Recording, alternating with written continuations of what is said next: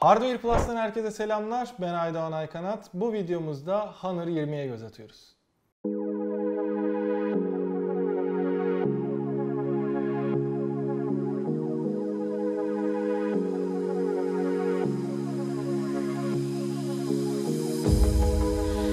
Out. Honor özellikle Türkiye'deki en önemli modeliyle beraber bizlerin karşısına çıktı. 4 kameralı yapısıyla ve aynı zamanda gerçekten arka tasarımı ile beraber bence çok şık bir telefon olduğunu da söylemek istiyorum. İlk olarak her zaman olduğu gibi tabii ki tasarımından başlamak lazım. Dediğim gibi arka tarafında 3 boyutlu bir tasarım var ve e, içinde ışığa göre değişen bir akım görüyorsunuz ve bence en güzeli de mavi rengi olmuş diyebiliriz. Aynı zamanda sol tarafta da 4 kameranın konumlandırmasını, üçünün yan yana, dördüncünün de dışarıda olduğunu görmektesiniz. Cihazın sol tarafına baktığımızda sadece sim kart girişimiz yer alıyor. Başka hiçbir şey dikkat çekmiyor burada. E, oldukça düz ve sade bir tasarım olmuş.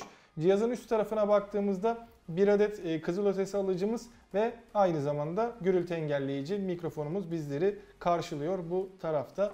E, cihazın sağ tarafına geldiğimizde e, parmak izi okuyuculu güç tuşumuz ve ses açma ve kısma tuşları var.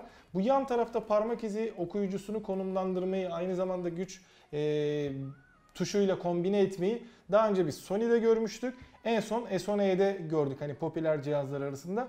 Bence oldukça etkili bir çözüm. Özellikle e, ekrandan parmak izi, işte arkada parmak izi vesaire gibi çözümler yerine yanda hem fiziksel bir parmak izi okuyucusu olması hızlı bir çözüm sunuyor. Hem de e, bence cihazın şıklığını da bozmuyor. Hem de burasını da mavi renk yaparak e, gayet güzel bir e, düşünce yapmış Honor tarafı. Aşağıya baktığımızda da hoparlörümüz, mikrofonumuz ve Type-C bağlantımız yer alıyor. Görebildiğiniz gibi cihazın herhangi bir yerinde e, kulaklık girişimiz yer almıyor. Bu yüzden şöyle bir kutuda gelen yani bu kısa süreli bir kutuydu işte sürprizli kutu diyebileceğimiz. İçinden bir de e, Honor'ın EM61 daha doğrusu Huawei EM61 olarak bildiğimiz bir kulaklığı çıkıyor. Kablosuz kulaklık performansı oldukça yeterli seviyede kötü değil Ee, ve genel performansıyla da bununla bütünleştiğini düşünürsek hani en azından e, kutunun içerinden kulaklık çıkmaması ve aynı zamanda kulak e, kulaklık girişinin olmamasını bu şekilde çok iyi örtbas etmişler. Ama bahsetmem gereken şeylerden biri de fazlasıyla parmak izi bırakıyor. Şu an detaylarda ne kadar giriyor bilmiyorum ama hani dokundukça burası komple lekeleniyor. Şöyle biraz sağ sol yapayım ki kendini belli etsin. Ön tarafına geldiğimizde de bizi 6.26 inç boyutunda Full View olarak adlandırılan IPS bir ekran karşılıyor. 2340'a 1080 piksel çözünürlüğü var. Yani Full HD Plus bir çözünürlüğümüz ve aynı zamanda yine S10e'de gördüğümüz ekran içine gömülü kamerayı burada da görmekteyiz. Hani baktığımızda e, sol üst tarafta, S10e'de sağ üst taraftaydı. Sol üst tarafta bir e, kamera çıkıntısını daha doğrusu çıkıntısı demeyelim. Ekrana gömülü kamerayı görmekteyiz. Yine kameranın etrafında da ekran devam ediyor. Bunu da yine Samsung'daki gibi Huawei tarafı da Honor tarafı da yaptığını göstermiş. Ve %91.7 ekran gövde oranı da burada çok önemli bir değer olduğunu kendi açımdan düşünüyorum. Kameralara gelecek olursak zaten arkada görebileceğiniz gibi 4 kameralı kurulumuyla bizleri dikkat çekiyor ve aynı zamanda ana kameramızda tamı tamına 48 megapiksel değerinde Sony'nin IMX 550 586 modelini kullanıyor. Bunda f1.8 diyafram aralığımız var ve e, oldukça iyi çekimler yaptığını görebiliyoruz. Süper gece modunda da yapay zeka destekli çekimler yapabiliyor. Tabii ki bu her ortamda da geçerli bir şekilde yapay zekayı kullanabiliyorsunuz. Ben yaptığım çekimlerde 48 megapikselden oldukça memnun kaldığımı söylemek istiyorum. Her detayıyla oldukça güzel bir sonuç bizlere vermeyi başarıyor. Ama aynı zamanda geniş açılı bir fotoğraf çekmek isterseniz de 16 megapiksel değerinde süper geniş açılı bir merceğimiz var. Bu da f2.2 diyafram alanını bizlere sunuyor. 117 derecelik oldukça geniş bir derecede de çekimler bizlere sağlıyor. Bunda da oldukça e, güzel bir e, detaylar verdiğini söyleyelim. E, aynı zamanda sadece 2 megapiksel değerinde derinlik kameramız var. Bu da bokeh efektini bizlere o portre modun dediğimiz sağlamak adına ayarlanan bir kamera. Bu sayede de işte derinlik efektini ayarlayarak çok güzel işler yapabiliyor. Bir de 4 santimetrelik uzaklıktan çekim yapabilen 2 megapiksel değerinde bir de makro kameramız var. Makro kamerada e, özellikle Huawei modellerinde gördüğümüz işte e, Mate modellerinde gördüğümüz o çok yakından çekim yapabiliyor ama tek farkı Huawei tarafı 2,5 santime kadar yakınlaşabiliyor. Honor tarafı 4 santim e, değerinde kalmış ama sonuçta 4 santimetre bile normal makro çekim lensi olmayan cihazlardan çok daha iyi çekim yapmasını bizlere sağlıyor.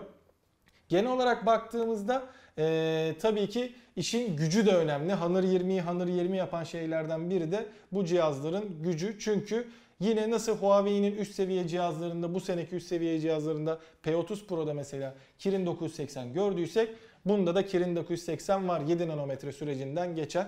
Bunu 6 GB RAM, 128 GB depolama ile destekliyorlar ve arayüzde de Magic UI 2.1 var. Yine Huawei'nin kendi MUI'ine benzer e, bir arayüzle bizleri karşılıyor. Android 9 ile beraber geldiğini de bahsetmiş olalım. Bu yüzden gerek PUBG oynarken gerek yeni çıkan Call of Duty Mobile oynarken gerçekten çok iyi bir performans sergiliyor. En üst ayarlarda herhangi bir sorun, kasma, donma en ufak bir şey olmadan Kirin 980 demektir ki e, Snapdragon'un 800 serisi aynı zamanda Exynos'un da yeni 9820'ye denk gelen bir gücünde olduğunu da hepimiz biliyoruz. Şu son dönemde Kirin 990 çıktı ama sonuçta şu anda piyasada bulunan en güçlü Kirin işlemcili telefonlardan biri Honor 20. Bu konuda da çok iddialı olduğunu da söyleyelim. Şarj konusunda da iddialı tabii ki. Huawei tarafı nasıl iddialıysa e, Honor tarafında da iddiaları görüyoruz. Bunda 3850 mAh'lik bir batarya var ve bu bataryayı da e, 22,5 wattlık Honor Supercharge 3.0 ile beraber şarj ettiğinizde yarım saatte %50'ye ulaşan bir şarj performansı bizlerin karşısına geçiyor. Yani eğer e, gün içinde e, şarjınız bitmek üzereyse ve bir yere gidecekseniz sadece bir çay kahve içme süresine sizin gününüzü rahatlıkla tamamlayabilecek bir şarjı e, Honor 20 ile beraber alabiliyorsunuz. Genel olarak baktığımızda gerçekten Honor 20 performansıyla Türkiye'de satın alınabilecek en iyi cihazlardan biri. Bunu tartışmaya gerek yok. Kirin 980'i var. Kamera konusunda üst seviye cihazların biraz gerisinde kalsa da 4K 30 FPS ile çalıştırdığı kendileri AIS diyor. Yapay de, zeka destekli stabilizasyon. E, ama EIS desteğiyle beraber elektronik stabilizasyonla bizim daha önce yaptığımız dörtlü kıyaslamada e, hepsini 4K'da çekerken en iyi sabitlemeyi yapan tartışmasız Honor cihazıydı. Honor 20 bu konuda çok çok iyi bir sonuç verebiliyor. Yani optik imaj sabitleyicisi yok bunda. Pro modelinde var ama EIS'si de en az OIS kadar sağlam çalışabilen nadir telefonlardan biri olmuş. Ee, genel olarak da baktığımızda dediğimiz gibi Kirin 980 her şeyi yapabiliyor. Performans konusunda en ufak şüpheniz olmasın. Ha 3750 mAh'i 4000'e çıkarsalardı mükemmel olurdu ama hızlı şarj ile beraber bunu kapatabiliyor. E, MUI arayüzü değil de burada Magic UI diyoruz. Magic UI 2.1 var ama bu da çok iyi bir şekilde rahat kullanışlı bir arayüz sağlıyor. Huawei'de ne yapabiliyorsunuz? Honor'da da aynısını yapabiliyorsunuz zaten. E bu da okey. Genel olarak baktığımızda benim hoşuma giden önemli cihazlardan biri olmuş. E, fiyatına gelecek olursak ben o dönemde lansmanda da eleştirmiştim. Ali ile beraber e, telefonu değerlendirmiştik ve oradaki eleştirmemde de dedim hani aslında fiyatına göre baktığımızda işte P30 Pro ile kıyasladığımızda vesaire cihaz fiyat olarak kötü seviyede değil. Ama Honor dediğimizde her zaman hiç beklenmeyecek ucuzlukta, hiç beklenmeyecek güzel fiyatlandırma ile geldiğini görüyorduk. Bu fiyatta ona o açıdan biraz yakışmamış diyebiliriz. Hatta o fiyat segmentine S10e falan da geliyor. Hani e, o yüzden orada rakiplerinin arasında ya gidip Honor alayım diyen insanların az olması ya da orada biraz zorlaması sıkıntı olabilir. Çünkü fotoğrafı ne kadar iyi olsa da bir S10e kadar vesaire de fotoğrafçılıkta iyi değil gibime geliyor. Biraz daha geliştirmesi lazım diyelim. Ve benim bu telefon hakkındaki söyleyeceklerim bu kadar. Eğer böyle bir kutuyla beraber alırsanız içinden çıkan ekstra kılıfı e, ve aynı zamanda EM61 kulaklığı ile beraber güzel bir bundle haline geldiğini söyleyebilirim. Ama sadece cihazı alıp içinden çıkan şeffaf kılıf ve e, kulaklıksız kullanmanız gerekirse fiyat biraz yüksek diye düşünüyorum. Peki siz Honor 20 hakkında neler düşünüyorsunuz? Siz telefonu beğendiniz mi? Ee, daha önce satın alanınız oldu mu? Hoşuna giden kendi düşünceleri neler? Lütfen onları da yorumlar bölümünde bizlere aktarmayı unutmayın diyelim. Başka bir Hardware Plus videosunda başka bir incelemede görüşmek üzere. Kendinize çok iyi bakın. Hoşçakalın.